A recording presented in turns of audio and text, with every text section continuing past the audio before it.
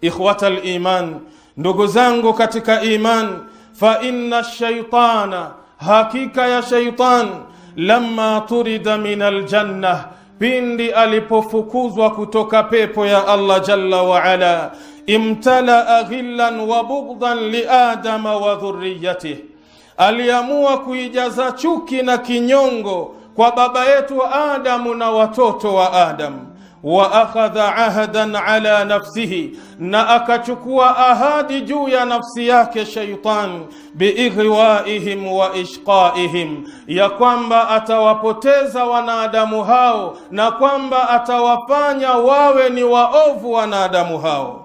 Faqala, akasema shaitan, la ughwiyannahum ajmain, hakika nitawapoteza waja wako wote ya Allah. Hii ni suratu Sad aya nambari 82. Wa min a'dhami wasailihi fi dhalik, na miongoni mwa njia zake kubwa na mbinu zake kubwa kulifikia jambo hilo. Jambo gani? La kumpoteza mwanadamu, la kumfanya awe ni kiumbe mchafu, kiumbe mbaya katika ulimwengu huu. Zaru lghilli walbaghdai fi nnufus, ameamua kuipanda mbegu mbegu ambayo kwamba ni ya chuki, mbegu ambayo kwamba ni ya kinyongo katika nafsi za wanadamu. Wakad kana dhalika, na hakika lilikuwa jambo hilo, awalu dhambin usiya Allahu bihi fi lardi, ndiyo dhambi la kwanza ambalo kwamba aliloasiwa nalo Mwenyezi Mungu katika ardhi hii.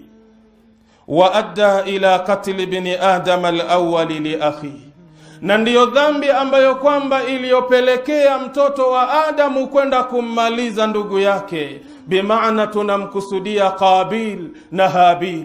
Pindi Qabil alipokwenda kuamua kumuua mdogo wake ambaye ni Habil, sababu ni nini? Ni kwa sababu ya mwanamke ambaye kwamba amezuiliwa na mzee Adamu, akiambiwa huyu hufai kumuoa, unastahiki kumuoa huyu. Akaona bora ili niweze kumpata mwanamke huyu, nimmalize mdogo wangu huyu, nipaki mimi mwenyewe ambaye kwamba ni mwanamme pekee, ili niweze kumuoa huyu mwanamke na ndiyo chuki kinyongo kilichopelekea mpaka Kabili kulifanya jambo hilo. Walyauma shaa hadha almaradhu alqalbiyu wantashara, na leo yameenea haya maradhi ya moyo na yamezagaa katika kila aina ya upande wa dunia. Wa arhaka ashabahu, na yameteketeza na kumaliza wahusika wa maradhi kama hayo. Wa asaa alaqati nnasi baadhihim bibad, na yamepelekea maradhi hayo kuharibu mafungamano, kuharibu kuingiliana baina ya watu wao kwa wao Kallama tara lyauma rajulan, ni kwa uchache leo unaweza kumuona mtu au mwanadamu, wakad salima qalbuhu min alghilli walbaghdha, na awe amesalimika moyo wake kutokamana na chuki na kinyongo.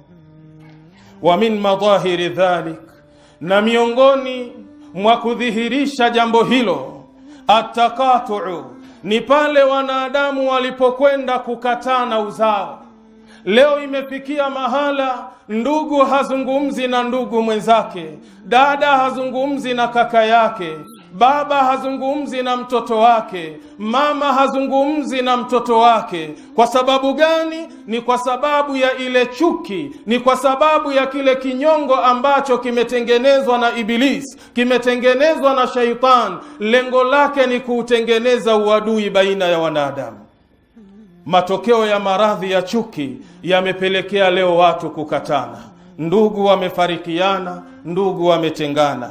Watahajuru, na imepelekea leo wale ambao kwamba ni wanadamu wa kawaida kuhamana, kila mmoja ameamua kumkimbia mwenzake kwa sababu fulani kadha fulani kadha, na hii ni ile chuki ambayo imetengenezwa na Iblis. Walkarahiyatu baina nnas, na imepelekea watu leo kuchukiana baina ya watu. Wasukhuriyatu, na kudharauliana. Walhatu min aqdari lakharin, na vile vile kupelekea wengine kudharau kipato kidogo cha wale ambao kwamba ni watu wa chini.